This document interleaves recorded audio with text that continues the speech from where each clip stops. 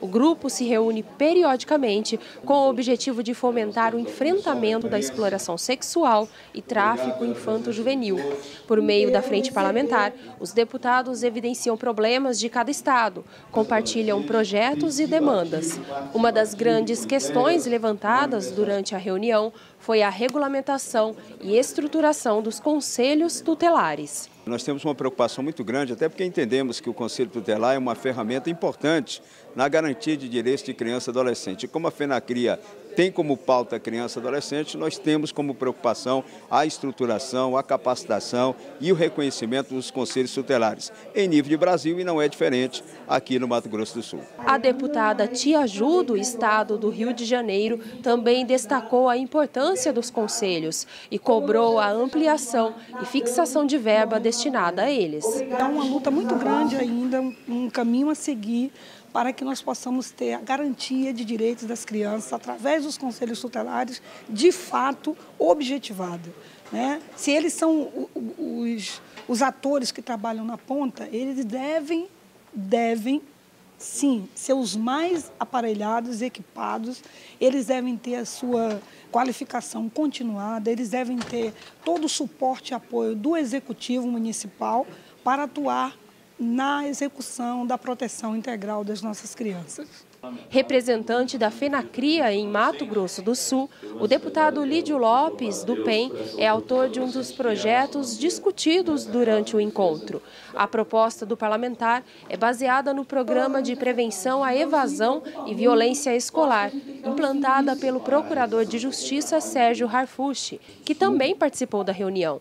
Ele defendeu o projeto e explicou as medidas tomadas em casos como agressões físicas entre alunos e destruição de patrimônio público. A minha intenção é trazer esses esclarecimentos, além é, do que fortalecer que realmente o projeto de lei 219 2015 vem trazer prevenção.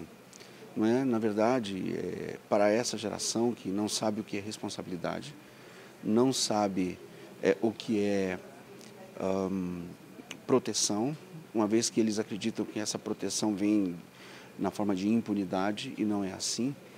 É, e eles são lançados a, já à vida adulta, aos 18 anos, estão sendo encarcerados por conta disso.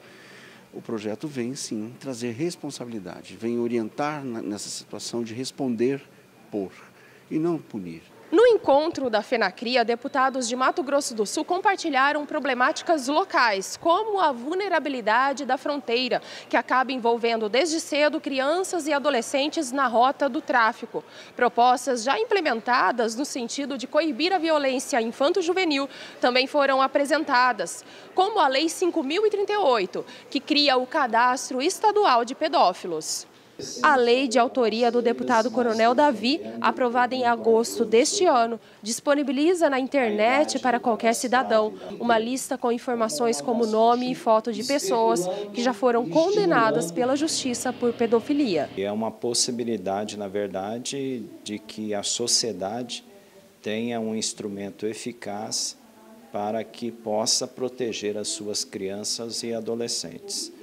É, sente é, entre os demais deputados que fazem parte da frente parlamentar, é, que cuida dessa questão da criança e do adolescente, da FENACRIA, é, o interesse de se levar é, a mesma lei para ser discutida nas assembleias legislativas das quais eles fazem parte. Mato Grosso é um estado muito fronteiriço, há uma, uma grande preocupação e a frente veio para cá exatamente isso, para a gente discutir essas problemáticas, essa violência é, da criança e adolescente e para trabalharmos em defesa. Obviamente que a gente trabalha de maneira preventiva, né, é, levantando os problemas, discutindo e como aqui houve indícios que estava é, é sendo é, comercializado órgãos de crianças na região da fronteira com o Paraguai, então existe uma suspeita, então a frente veio para cá também para fazer esses levantamentos.